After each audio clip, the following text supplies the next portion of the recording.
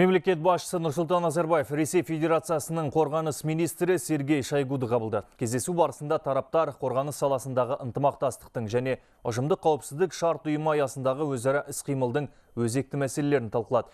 Елбасы Нұрсұлтан Назарбаев пен Сергей Шайгу Кадекс 2018 халықаралық көрмесінің маңыздылығына тоқталып, екі елдің қорғаныс өнеркәсібі саласындағы мемлекет аралық байланыстарын нығайту үшін бұл шараның тиімділігін атап өтті.